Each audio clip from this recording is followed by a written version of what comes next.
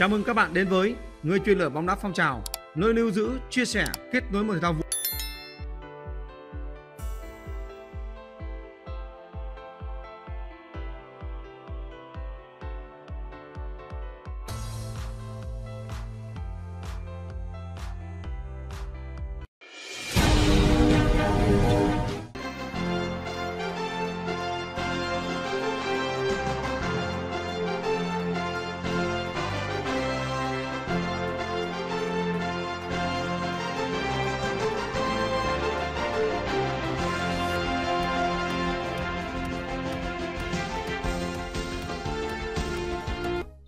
giữa bằng lục và phổi thôi không được.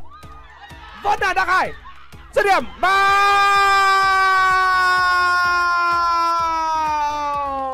một không.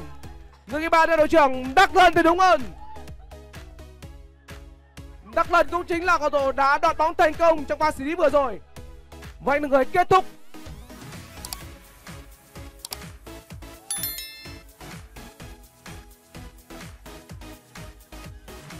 bóng đá bằng độc bắt đầu, vươn ra biển lớn. Bằng những chiến thắng ấn tượng. Một đội chơi đầy thuyết phục. Tốc độ, kiên cường. Họ đang thi đấu về tinh thần của mình. Vì cái tên, in trên ngực áo. Kiều Huy, chuyển bóng ngay. Bao! có cảm giác như người ghi bàn trong tình huống vừa rồi là cái tên Kiều Huy thi đấu thiếu người, nhưng mà đục đã có bàn thắng như đội cách biệt. Một pha bóng truyền như sút mà sút như truyền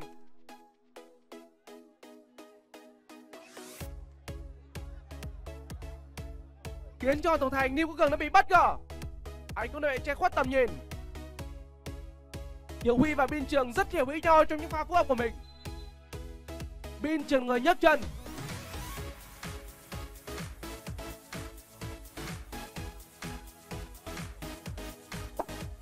Chưa bao giờ thấy một Fodil có nhiều những tình huống sai lầm như vậy. Coi bóng lại tới bên cây cao rồi.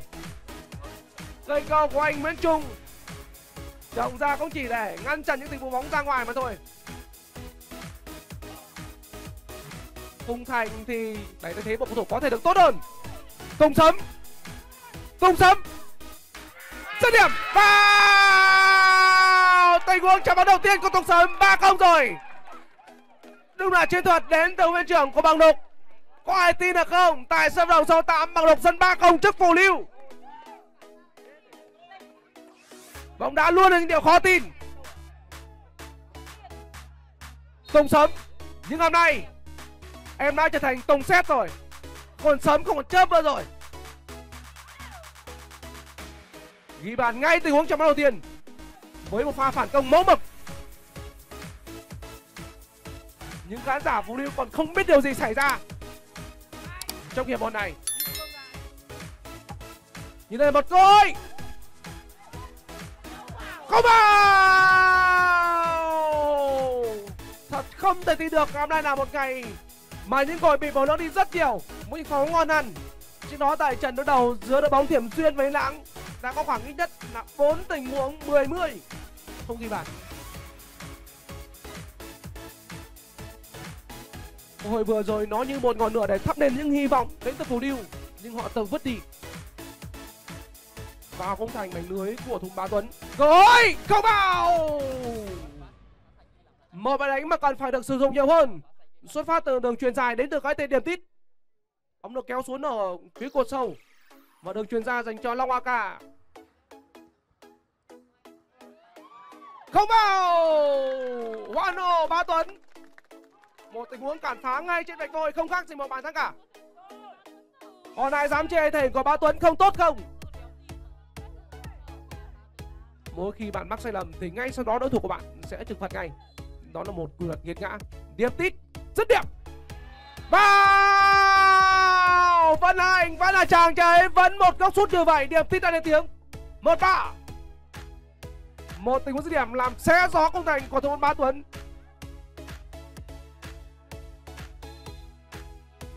Người đội trưởng của phù điêu đã níu giữ lại những hy vọng còn lại với đại diện của xã trung nghĩa những tràng pháo tay những tiếng cổ động đang liên tục thúc giục tinh thần của những chàng trai đến từ xã Trung Nghĩa.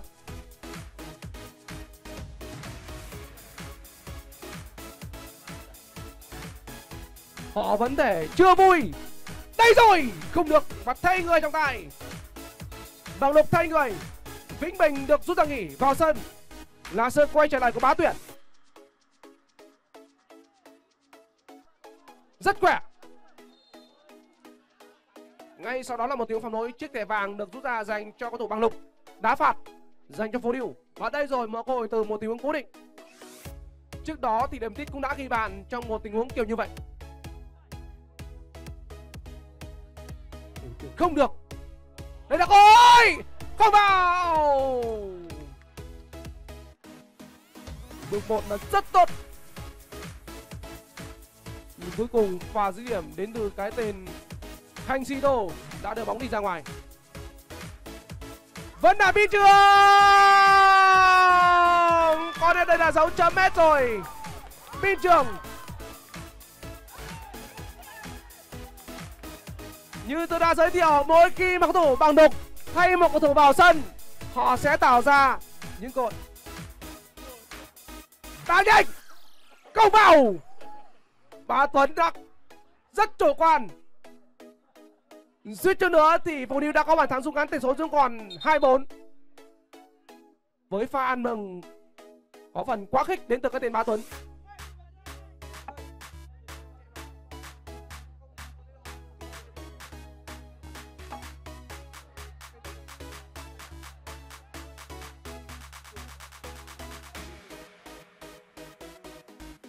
Rất điểm. Bóng tìm đến xà ngang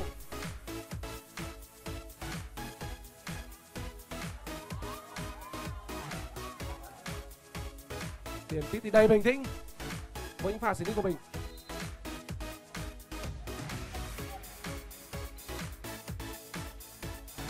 Pha bóng mà đình đàm có phần hơi hạm bóng.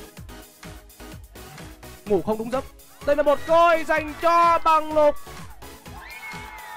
Năm một dấu chấm hết rồi. Và đúng lúc này tiếng gọi của tài vang lên nổi còi khép lại cú đầu giữa Hồ Điêu và bằng lục. Kết quả chung cuộc 5-1 những về đại diện đến từ xã Tuy Hòa và buổi tường thuật của chúng tôi đến đây là hết. Xin chào và hẹn gặp lại.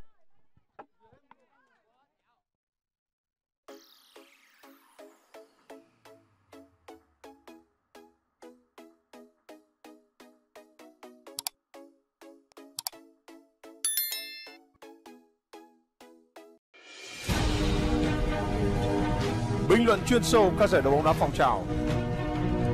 Phân tích soi kèo các trận đấu đỉnh cao mỗi tuần.